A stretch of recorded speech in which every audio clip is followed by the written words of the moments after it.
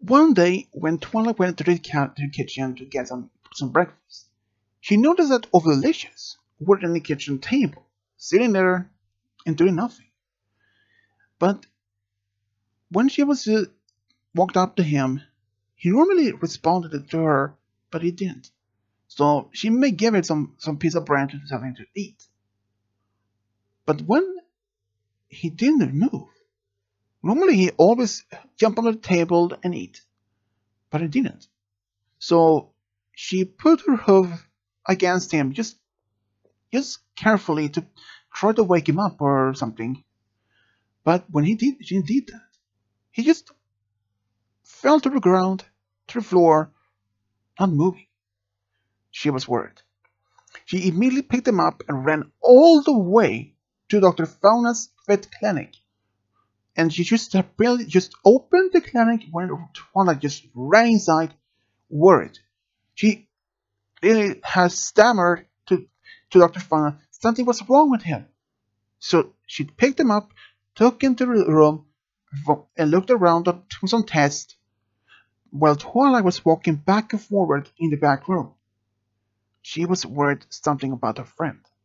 Dr. Fauna later came out and said, she just, he's just fine. He just had his cold, so nothing worried.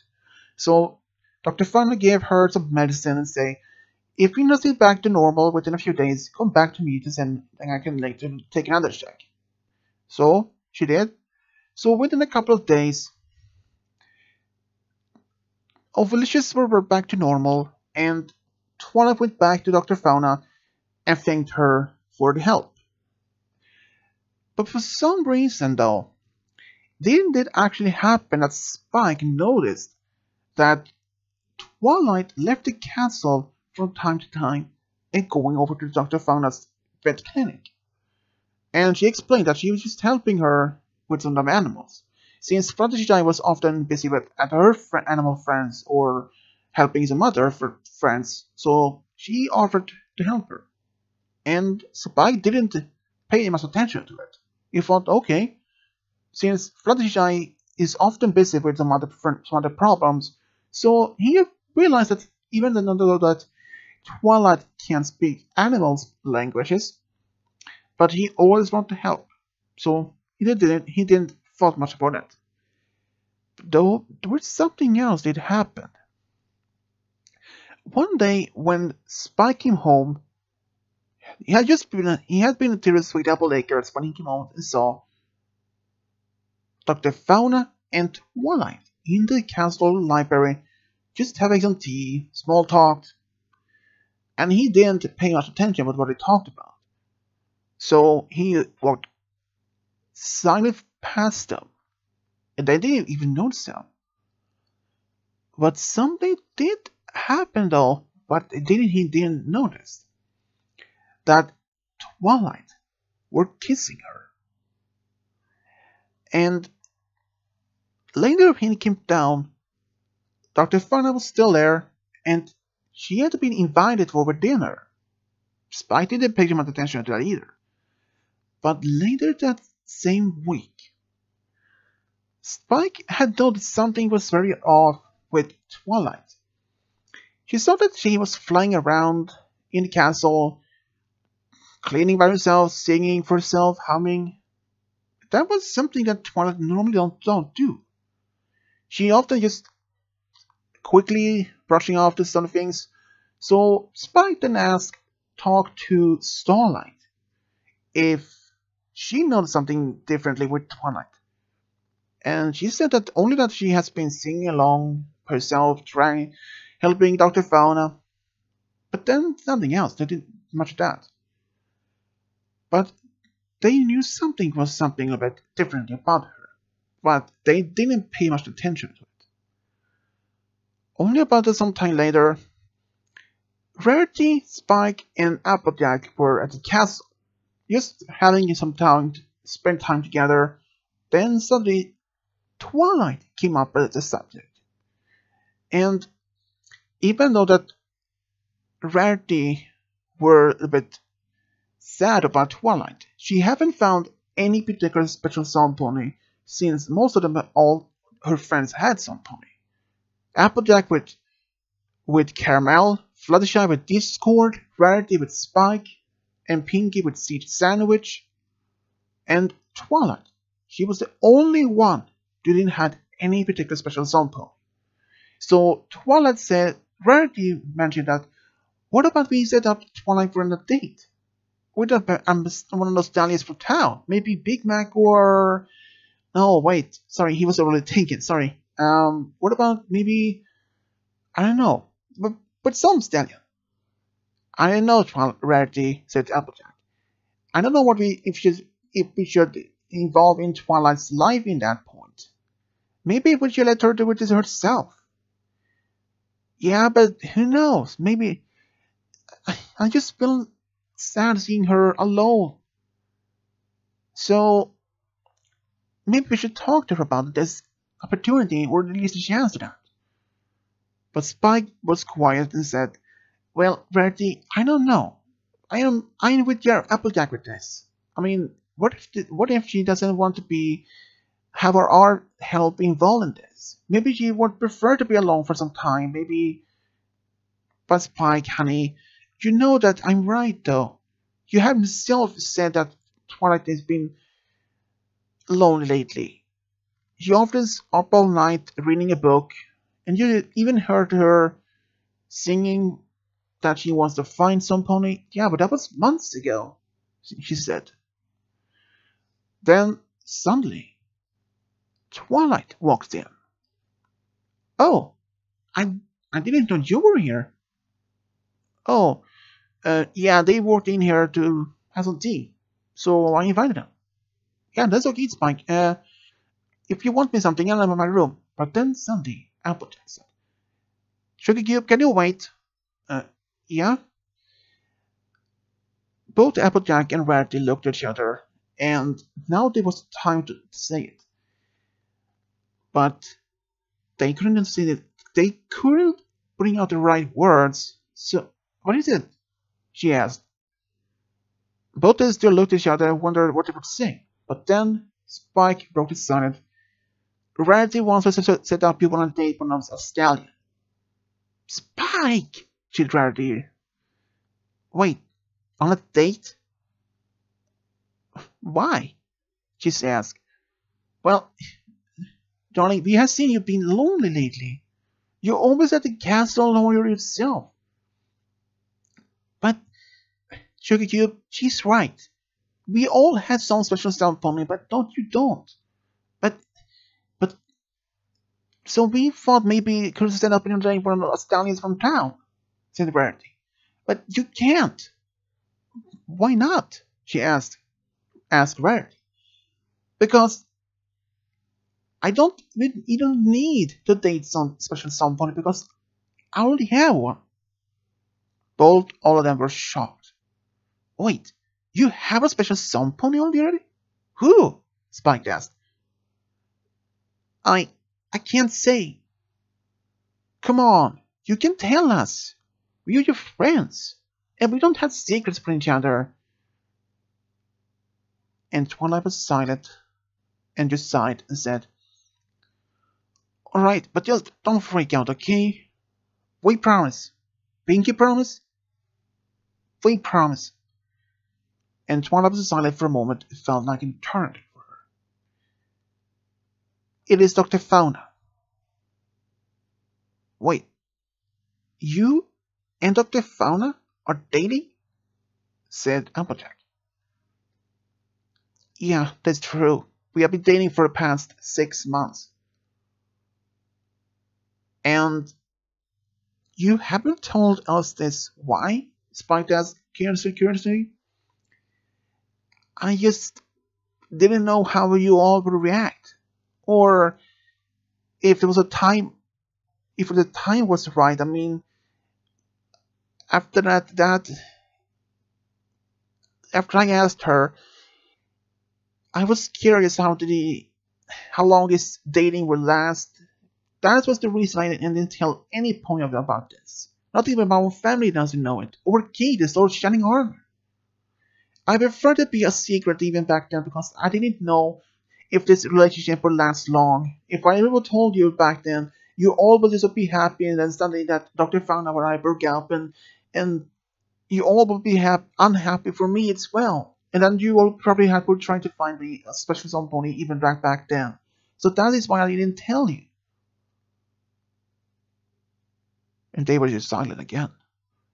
So you just kept that a secret just of fear? Or you were just worried how we react?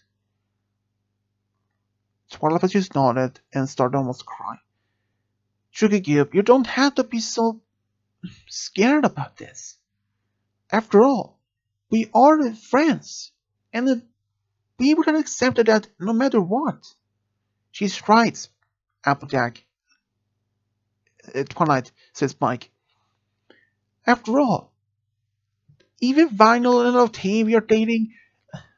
Lyra and Sweet Drops are married. So why wouldn't you have been uh, happy to have a girlfriend as well?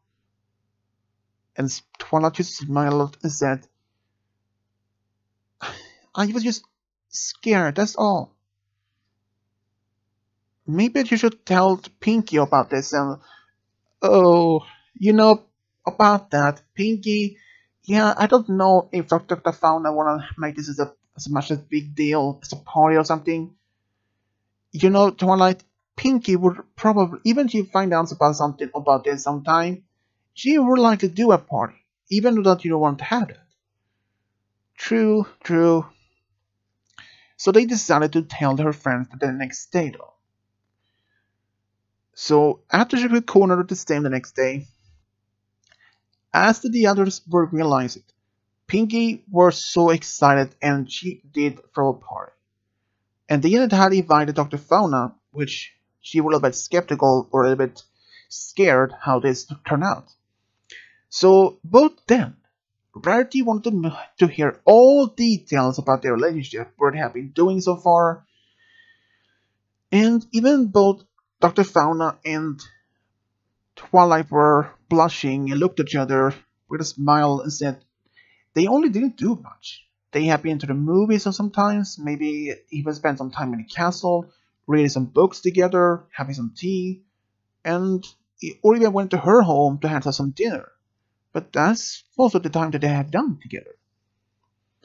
You know, I know that your your family were will be surprised but supportive of this, said Applejack. And she was right, because only about a week later, both her parents and her brother, and of course Cadance, wrote back to her and said that they were just happy as long as she's happy to have special somebody, even though there's a mare, they were just happy for her. But then there were some questions that Rarity had asked during the party. So, any plans for a wedding yet? Both just looked at each other with a big shocked faces. Rarity, we have been dating for six months and you're talking about the wedding already? Please. Wait maybe another year or not, maybe two years before even that. Or maybe longer. But Dr. Fauna, she a little bit skeptical about this. But since now that everyone in town knew about their relationship, they had no problem to hide it anymore. So, but then it happened one day later on that Dr. Fauna had asked Twilight if they wanted to go on a cruise. So after all, she had been working so much so much lately and she needed a break. And Twilight didn't have mind on that. So Fluttershy she promised to take care of her vet clinic during the time. And even if Twilight's friends had promised to look after school after her. So she did. And on the cruise, both had some amazing time, having romantic dinners and watching some magical shows and just or watched sunset together. But when they came back home, everything was back to normal. Dr. Fauna was working at their clinic, Twilight then at the castle and the school, and everything was going well for both. Even though something did happen between them during the cruise. There was nothing serious. They just talked about what about a marriage on in the future and have a family. Even though the doctor Fauna wanted to have her own family of, a family of her own, but she said to the Twilight that she wasn't ready to be thinking about a marriage or a family yet, because they said, as like she said during the party, they has only been dating for about six months, and that, and she just wanted to wait to see if their relationship would, would last longer. And Twilight didn't mind that because she knew that at the same time. As the time passed, Twilight had one day a surprise visit. She heard a knock on the door when she opened it. It was Cadance, Shining Armor, and her parents. Both she and Spike were surprised. Even Spike did know that they were coming for a visit, but exactly when, he didn't say because that was something he didn't know. So when they came in, they then asked more about details about her and Dr. Fauna's relationship, how they met, or what she was doing for for living, sort of things. Nothing much serious talk, more just curious questions. But then there was one question that her mother, Twilight Velvet, had asked. So, Twilight, when will we be able to see your special somepony yet? Um, I don't know. She has been working lately, so she hasn't much time off. But Spike then mentioned, well, what about tonight, during it at a dinner? Invite her for dinner if to meet your family. After all, this is a kind of big step, Spike. Yeah, but she it isn't time enough to at least meet her. I mean, even this, after all, this new to us all, Mrs. Shining Armor. He's right, Kate Twilight. At least, just invite her to see how things going on. You just want to meet her, after all? Um, okay. I can go invite her, says Spike, and just left the council. But Spike, wait! And it was too late. But later that same evening, Dr. Fauna came to the castle as she was invited. She was still bitterly nervous to meeting Twilight's parents and her brother for the first time. She only been heard about them, but this was the first meeting. But she mentioned about her work for the for parents and her brother, that she helped with animals, and that she and that Twilight does help her sometimes from time to time. And surprising, all of them actually liked her presence. She saw that she is a very good personality, and she's loving about animals, and she was the perfect daughter-in-law. Even though the Shining Armor mentioned something about um about Twilight's past, like when she was growing up, that she how much she loved to practice magic, and how she felt to be uh, Celestia's personal student, and that's something that Twilight haven't even told her. But the meeting of the first time of her family went just without any problem. Even during it after the dinner when her father mentioned the question, So, if you were married Twilight, would you have a family with her? This was something that both Twilight and Red and Dr. Fauna had thought about, but they decided to, to wait for the marriage, which her family understood. Even when Twilight mentioned all this, and the family were just happy to see that she had found her special, special pony, and that she was just happy and about a few months after this event, that first meeting, the winter had arrived in Ponyville. And now, Twilight had asked had asked her if she wanted to go to to Canterlot to celebrate Hearth's Warming Eve with her family. Even though she was a little bit a little bit nervous, but still there was a is to this was actually her second time meeting her family, but she agreed. Even though Twilight and Dr. Fauna were a bit nervous how this holiday would turn out. If something would be something a mistake would happen and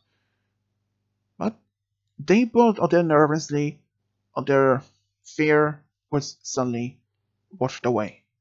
Both had this amazing time. They listened to stories about her family history and even though her parents did telling her some Dr. Fauna some stories about Twilight's past, like her how she was like a child like as a filly, how much she loved to study magic, like her, like her brother mentioned before. But still, even they decided to stay there even to New Year's Eve. But something did had happened though. During the meet of New Year's Eve, precisely precisely at midnight, Dr. Fauna then had asked Twilight if she could speak her with her more privately. Then she then proposed to Twilight. She said that she felt so ready to be married with Twilight, even they have been already been together for nearly almost a year. But Twilight, she didn't speak at all. All she did was crying. She was so happy. She cried and cried and just hugged her and said yes. When they told her family about this, they weren't surprised though. Because Shining Armor told her that he has something, a feeling this could happen during, during New Year's Eve. And only about a couple of days later, when they came back home, all their friends were so excited. Even Pinkie. She threw a big party to celebrate this. But they decided to have their wedding around the springtime. And as they did, as the spring arrived, both Rarity made the dresses for both Dr. Fauna and Barrett for Twilight. Spike had been asked to be the ring bearer, and Twilight. She had even picked Rarity to be her bridesmaid and Fluttershy to be Dr. Fauna's. And the parties afterwards, it was just amazing time for them. Dancing together for the first time, even family welcomed her, Dr. Fauna, to be the part of the family. And later, as a time for them both to go on the honeymoon. They went to Las Pegasus for about a whole week. Even there, they had some amazing time. Watching some, some shows, just having romantic dinners, and just have a great time. Even when I came back, everything was back to normal.